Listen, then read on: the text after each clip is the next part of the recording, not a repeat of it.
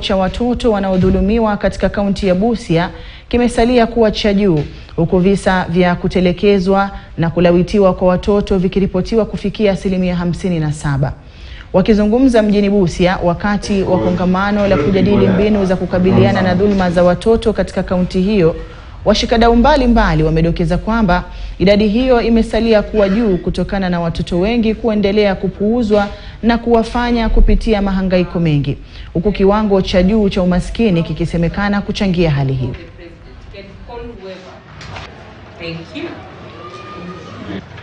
na ikiwa msichana huyo amepatana na mtoto mwenzake ambao ni wa shule ni kijana Busia asilimia hamsini na saba ya watoto eh, wameathiriwa na ile child neglect, yaani mtoto anapuuzwa. Unapata mwanamke ametoroka, amewacha mtoto wa mwezi mmoja, hata mtoto wa wiki moja, masiku amemwacha hapo na ameenda. Na kwa sababu ya hiyo, unapata watoto wengi katika kaunti yetu wanalelewa bila mama, wanalelewa bila mama. Saa zingine unapata yule mzazi ambaye amebaki pengine ni baba, unapata anajishughulisha na vibarua mchana. Kwa hivyo huyu mtoto anawachwa katika boma bila mtu wa kumchunga. Kulingana na zile takwimu ambazo zimetolewa juzi ambazo tunaita Kenya Demographic Health Survey KDHS,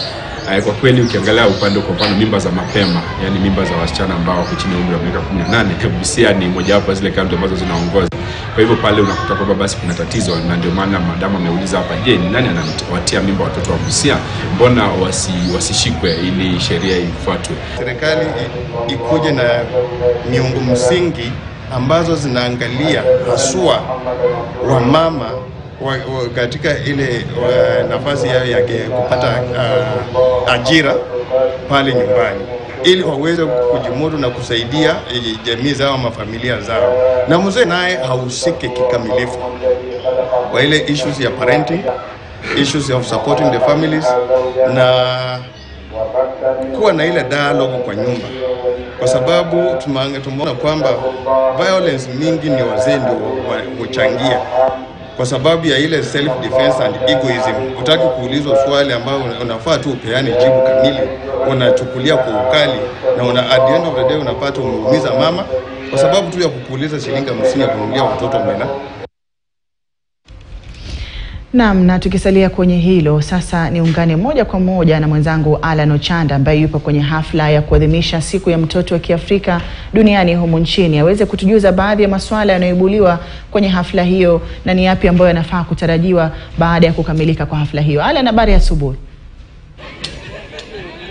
Naam, hadi kama ulivyotaja leo ni kwamba ulimwengu mzima unaadhimisha siku ya mtoto wa Kiafrika duniani, na hii leo taifa la Kenya yote macho yakielekezwa katika kaunti ya Busia hapa katika shule ya msingi ya Mungati, ambapo wadau tofauti tofauti wameweza kufika hapa. Ukitizama nyuma yangu tu ni kwamba hafla yenyewe uh, tayari karibu inaanza, wanawangoja tu, wanawasubiri tu wale wageni wa heshima waweze kufika, ila tu kwa mafungamano ndio kuna zile takwimu zinazochora picha kwamba eh, zile takwimu za visa vya dhuluma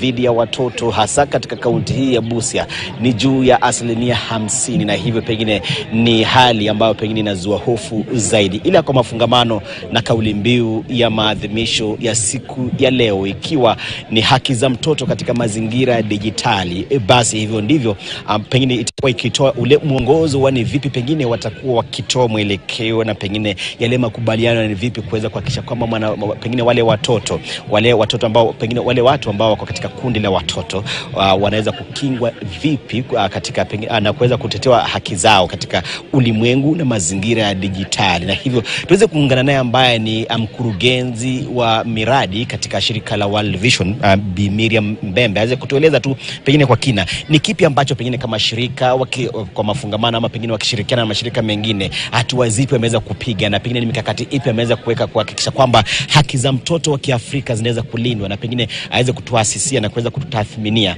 uh, hatua walizopiga katika safari yao. Karibu sana uh, utueleze tu pengine jina lako kama nimelipata vyema na pengine na, na, na ile nafasi yako ama title, utueleze ni hatua zipi mmeweza kupiga kama shirika hapa nchini. Asante sana kwa majina, naitwa Miriam Mbembe, mkurugenzi mkuu wa miradi katika shirika la World Vision, na alivyosema leo hii tunasherehekea siku ya mtoto duniani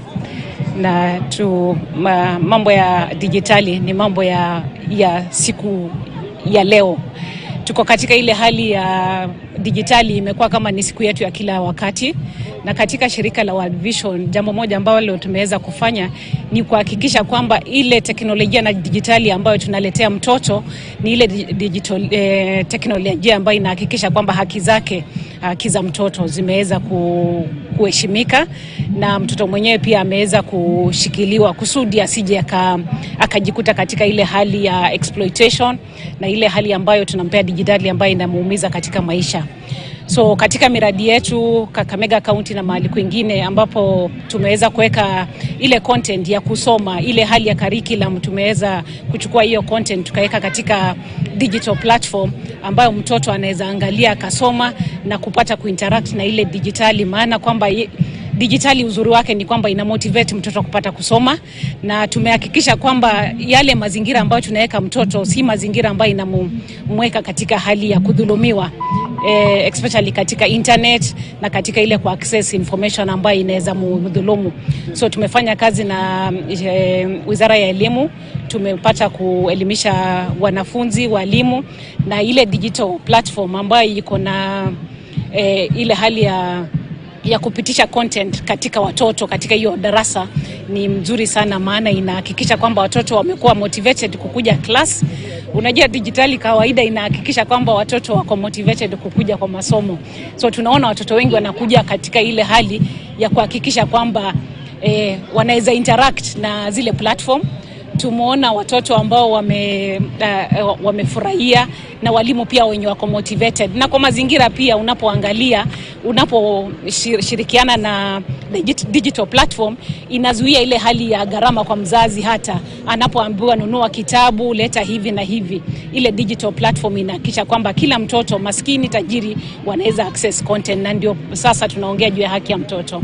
na pengine nikikuuliza tu uh, ili swala tu, kwa sababu tumeweza kuzuru baadhi ya shule ambazo imeweza kuwapatia wanafunzi vipatakalishi vipakatalishi uh, zile laptop ama vile vifaa ambavyo vinaweza kuwawezesha kuweza kusoma na kuhakikisha kwamba pengine wanapata maarifa na weledi katika lugha ya Kiingereza. Nyinyi kama shirika pengine uh, ha, ha, hamuoni kana kwamba pengine inaweza ikawapatia ule ujumbe ama taarifa ambazo zinaweza pengine zikakuwa kinyume ama kinzani na masomo, yani zile za kuwaharibu wakiwa ule umri wa chini? Tunapoongea katika hali ya kupeana ile haki ya mtoto na kumpea environment ya kuinteract na platform, jambo moja ambalo shirika la World Vision limehakikisha kwamba ile access ya internet ambayo inakwanga ni gateway yenye adui na exploitation inafanyika katika ile hali ya internet imeweza kufungwa, tumeweza kuibana. So hii tuko na local eh, eh, ile, mazingira ambayo iko local na kuna ile yenye mtoto anaweza jikuta amekuwa exploited kwa sababu ya internet, na hata hivyo tunahakikisha kwamba watoto wenyewe wameweza kuelimishwa jinsi ya kutumia hiyo platform vizuri na hata walimu. Asante, asante sana. Naam, Hadia, jinsi tu yule ambaye ni mkurugenzi wa miradi katika shirika la World Vision mwenyewe akiweza kuweza kufafanua ni jinsi vipi wanaweza kuhakikisha kwamba pengine haki za mtoto zinaweza kulindwa katika ulimwengu na mazingira dijitali. Wenyewe pia wameweza kuhakikisha kwamba pengine wanapiga hatua katika kuweza kuhakikisha kwamba wanafunzi wale wanaweza kuongezwa ule ueledi ama ule, yani kilugha tu, lugha ya Kiingereza waweze kuwa wakipewa vile vipakatalishi na kuweza kuhakikisha kwamba kando tu na ule mfumo wa kawaida pia wanaweza kujifunza uh, mbinu za kiteknolojia, lakini ukitizama tu nyuma yangu ndio pengine uh, pengine maadhimisho yenyewe yanaweza kuanza na wale wadau wanaweza kuingia pale rasmi, na hivyo tutakuwa bado tukiweza kuelekea pale baadaye ili